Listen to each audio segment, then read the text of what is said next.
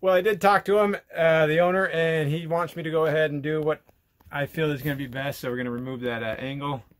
I'll rivet this roof down, seal over the top of everything, and uh, probably put a new top wiper seal on because once it comes off once, it's like a one-time push-on sort of a seal.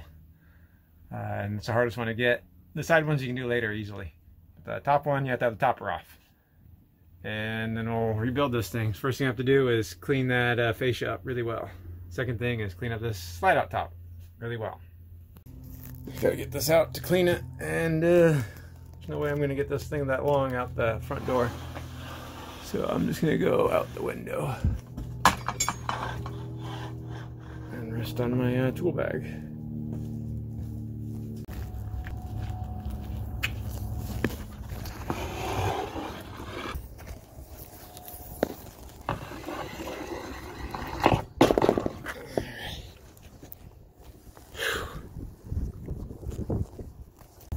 I don't see anything wrong with this seal. It's in the way of getting this sealant off, so it's got to go. You know, this stuff doesn't stick very well. I'm not even sure what it is. Because it doesn't feel like uh, RV stuff, that's for sure.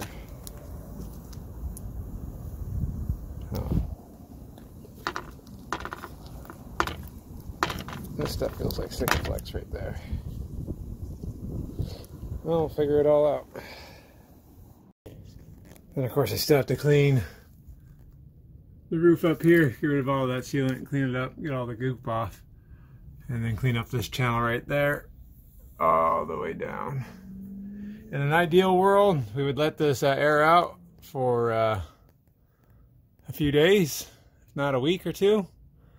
But we don't live in an ideal world, and this person needs to have their motorhome back because this is their house. Ah, got attacked by salt. I was assaulted.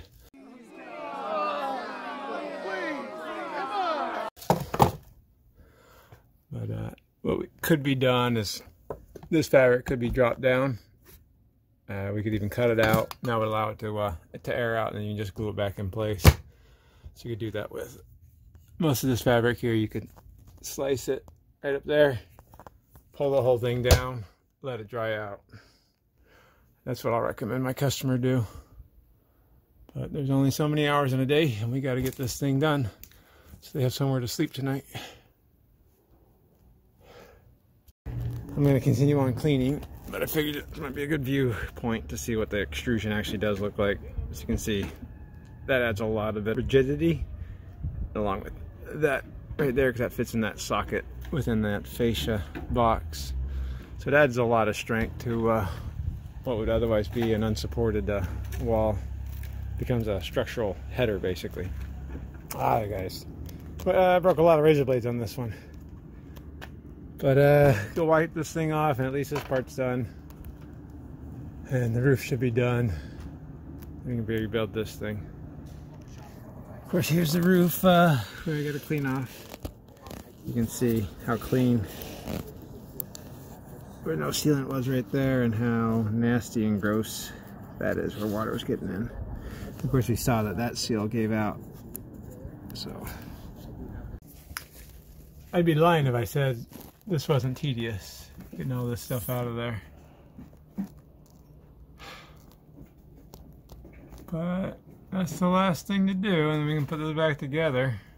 Alright, so I wasn't going to put this trim back on because I didn't want it to uh, cause a problem, but this roof ends about a quarter inch short of uh, the frame and the fascia doesn't overlap onto that. And this roof is very loose. So I need to um, I'm gonna flip this around instead of being flanged on this side I'm gonna put the flange on the fascia side.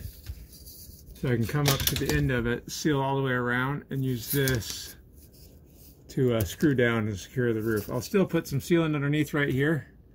Uh, the existing holes that won't line up because this molding slipped around, so I'll rivet that down because it's going to be riveted into uh, aluminum. But to uh, rivet uh, an edge like this down, it would take like a rivet like every inch, inch and a half in order to keep it from uh, having problems or coming loose. So this seems like a better option for me. At least that's what I'm telling myself. All right, so I just mocked this up real fast. I'm gonna go on the roof and see if that'll work.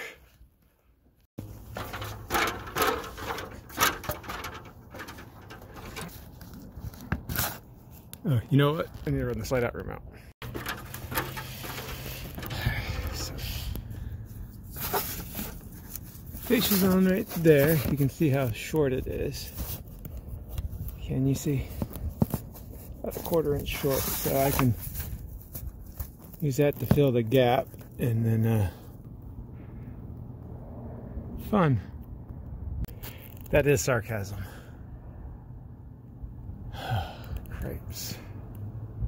Wish that flange was a little bit longer.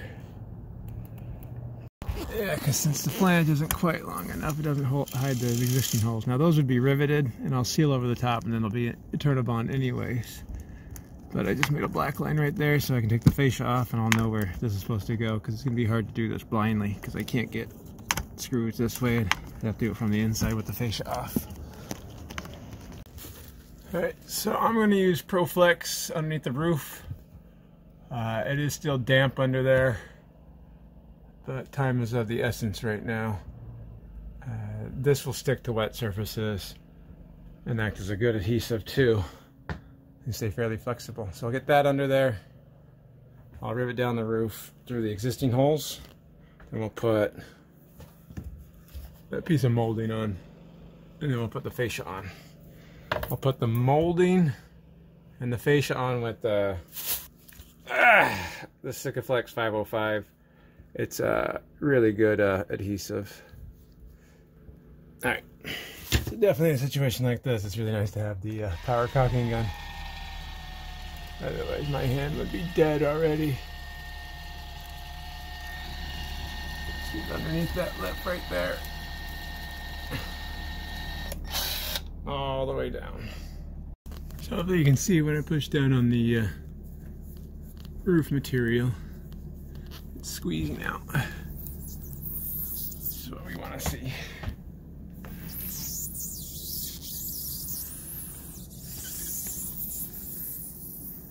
To make sure it's coming up through those holes too. Okay, so I just got the angle drill set up.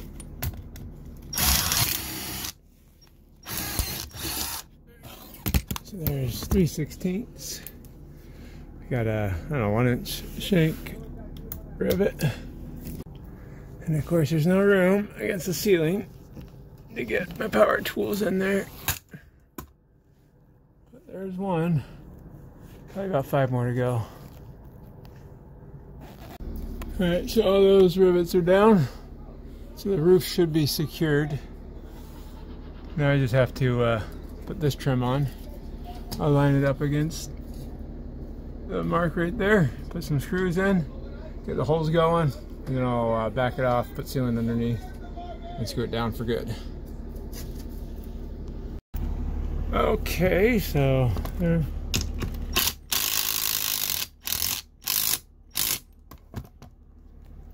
I should do a good job of sandwiching the roof and holding the edge straight.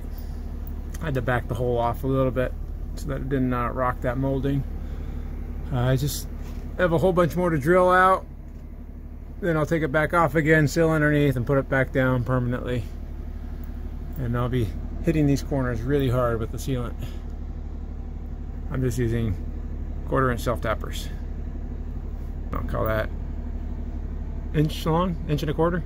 All right, so all those screws are in. Now I need to take this back off again, seal underneath, clean it up, and then the fascia will go up, and then the uh, Eternabond or the tape will go from this point up the fascia to here. And all this will be sealed.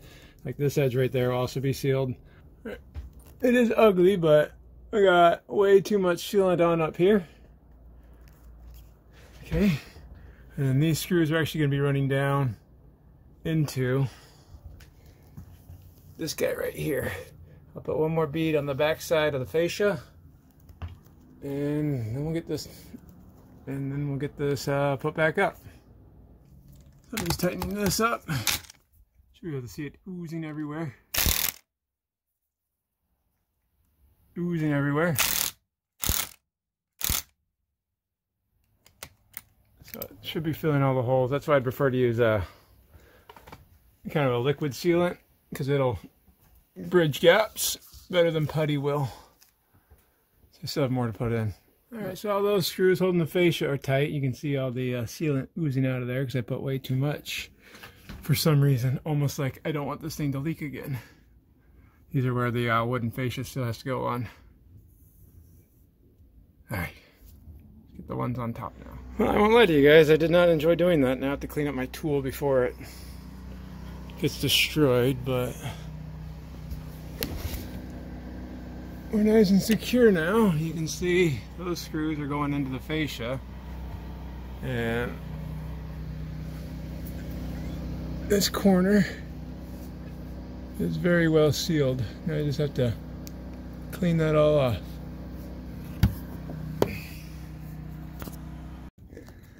Right, so this is what we look like from the outside. All the sealant oozed out from both sides. And then we'll cover that with uh, some Eternabond tape once it cures. I'll be honest, this was not supposed to take this long. Alright, well, that's all wiped up. I just have to put the Eternabond. I'm just gonna go up to this edge right there and then wrap around the sides. And then that'll be the last little bit of fat flashing. All right, good morning guys. a little bit chilly this morning.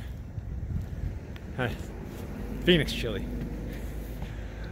We're to uh, try to finish up this uh, slide out roof repair and uh, get this thing on the road again. So I think with this view you can kind of see this that flange was going to be right here was used to be right there. So there really wasn't anything sealing against that rear fascia right there, but now there is quite a bit. Because these screws actually run down into that fascia, made a big sandwich out of the whole thing. Uh, and the Eternabond isn't really a sealant, it's just going to be flashing. So now there's not a, uh, a place for water to pool up behind all that. Hopefully that solves a lot of problems. So I just have this uh, roof repair tape laid out in the sun to warm up some. I will be cutting it in half and starting from the middle, going down each side. Because uh, what I'm going to try to do won't be easy to do, even in two pieces. So I'm going to try to wrap it up around to the back side here through this uh, corner and then back around to the top of the roof right there. So I'm going to be making a 90 on that. So I have to work from the middle down to the sides. The sides, I do want it to uh, wrap over the side. Uh, not like how the factory did this with the uh, seam on top, but uh, I do want it to go over the top. So I'll have to do the top first, stop probably right about here, run the slide out room in, then go inside, and then wrap the rest of it. Now, of course, that's my plan. I think it should go fine. Then we get this uh, slide out topper put back on. But to touch base with what I said yesterday, let's just say that this does solve that, that leaking roof problem. I think it should because uh, that was pretty obvious where it was leaking. But if it was leaking uh, out here too, this repair would have nothing to do with it, but I wouldn't know that because uh, it could have had two or three different places where it was leaking. This was a very obvious leak, but that's why I'm always hesitant to uh, want to fix slide outs or even adjust them. As I put quite a bit of work, effort, time, money, and parts into this repair, and if it's still leaking after all this, it's a very it's very difficult to tell the owner or the, the customer that yeah I kind of repaired it and what I did worked but uh, there's still some more work you have to pay for nobody wants to hear that and I don't really like to redo work either. It's a, it's a big risk to take each time. It's difficult to see. There's a lot of sealant oozing out the top right there. I do need to get that out of the way so the tape will stick better. And I'll do one final pass with some solvent to clean off whatever residues might be left. But You should be able to see the, uh, the stark difference between the cleaning with solvent and the dirty metal.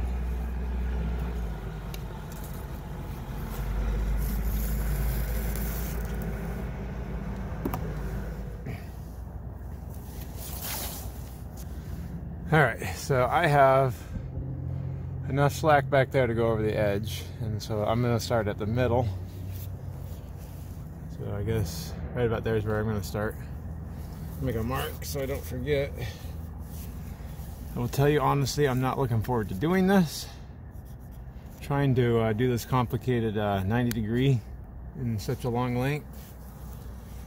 It's just a recipe for disaster. I'll do my best.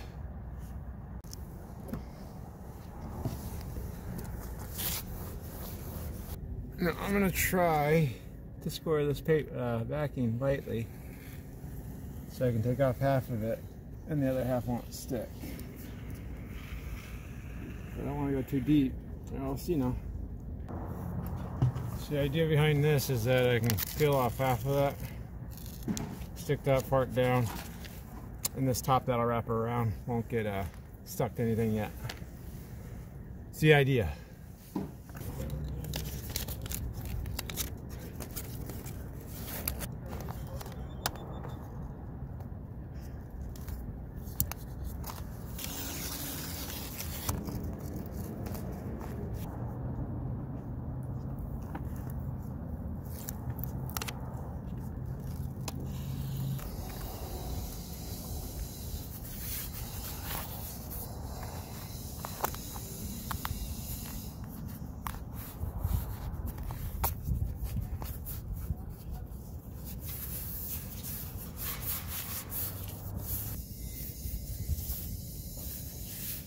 Now, believe it or not, that was not fun. Believe it or not, I'm actually happy with the way it's turned out, even though it doesn't look pretty, especially right about there.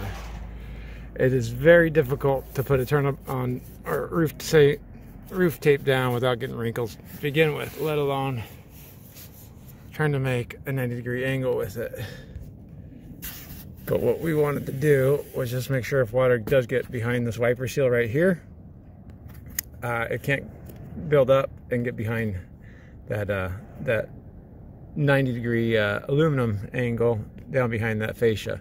So this is just redirecting water. So it doesn't have to be completely pretty and most of the time it won't be exposed because the wiper seal is going to end right about here anyways. This last little bit I've left to do on the inside when I run the slide out room in. I'll wrap it over because I can get to that really easily. That side's down now too. Don't judge me harsh.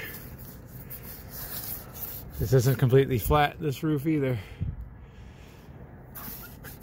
So now I just have to run the slide out room in a little bit so I can do the side corners, wrap it around. All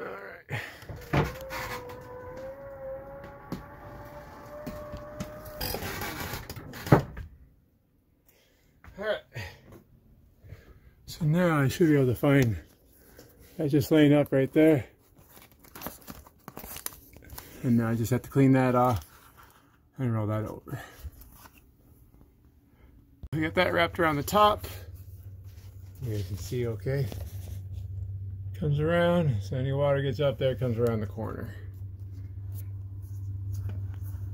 At least doesn't get under this molding right there. And that's what I'm working on. So just got the rear corner to do. It should be a little bit harder because there's not as good access back here. But I'm sure I can get it. Yeah, I can get it. Now, of course, I wish I could say we were done, but I still have to put the new seal on. There's a crimp seal, so it's gonna crimp onto this uh, lip right there. Just push it up. You can't have the slide out room all the way open. Otherwise, the back fascia, or that fascia that we just replaced, will be trying to crush this seal on the inside. let's do that real fast and then get this job done. Alright, so here's the old seal.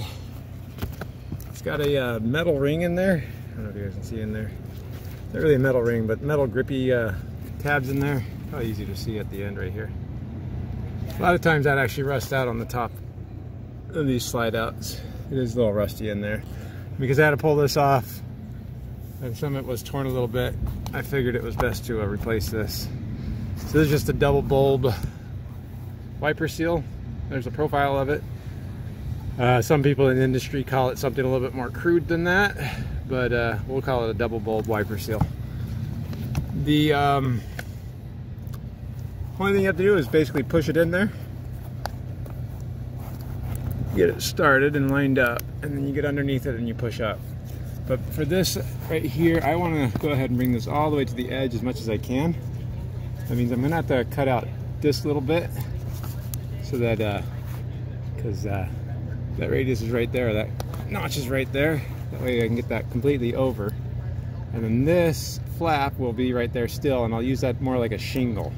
I like uh, it to help direct water off the top there, rather than button it up like right there. That's what we're going to be looking at right about. This is what we'll be looking at right about there. Uh, some people like to uh, super glue this edge together, the factory did. I'm not a big fan of that because it seems to tear the fliper, so I'm not going to do that. But let me get that started and then we'll watch how this goes. And yeah, I know the side seals could probably be done at the same time, but they don't look too bad. And this guy's already probably spending more than enough money rather than uh, another couple $300 on slide seals and, and the replacement. And those are easy to do anytime.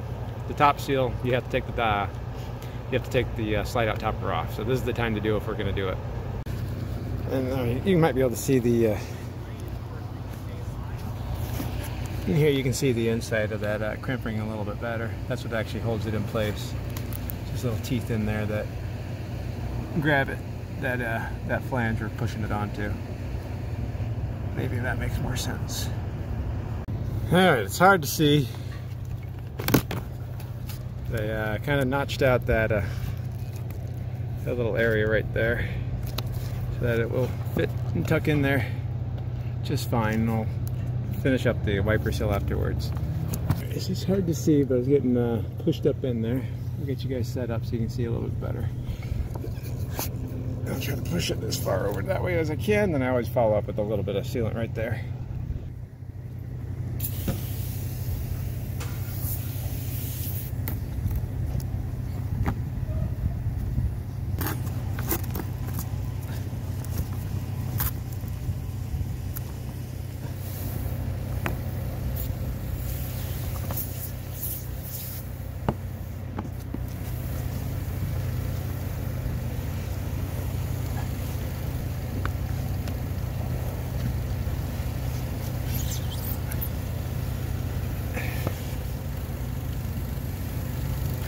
All right, so it's a little bit hard on your hands, but there's the wiper seal installed.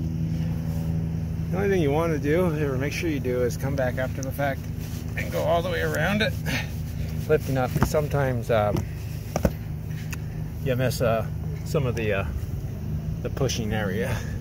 So now you can see forms a pretty good border against that, and you can see the uh, tape underneath. So I have to do now is finish the two uh, side seals so that they match up better and then we'll be done with this. And then this might make more sense now. So that wiper seal is becoming a shingle. Can you see? Yeah, you should be able to see. So direct water off of there from going back under there. Now you could trim it and uh, glue it onto the next wiper seal like that, but it makes this really tight on the corner. They tend to uh, tear over time. I'd rather not tear the seal that I just put on. All right, that's back on again. So this job's finally done. All that work just to uh, hopefully do the, a little bit better job than the factory did.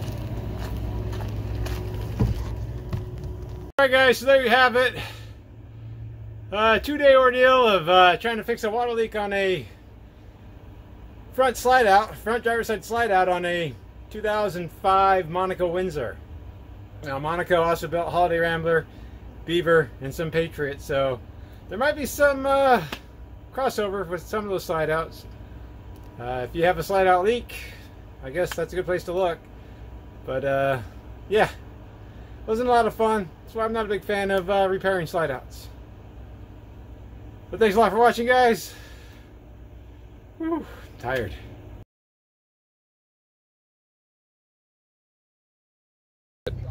We'll hope.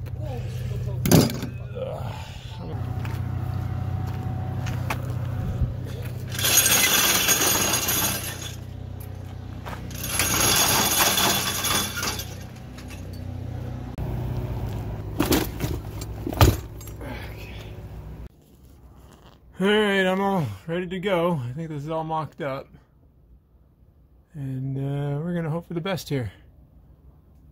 I like hoping for the best. Ow.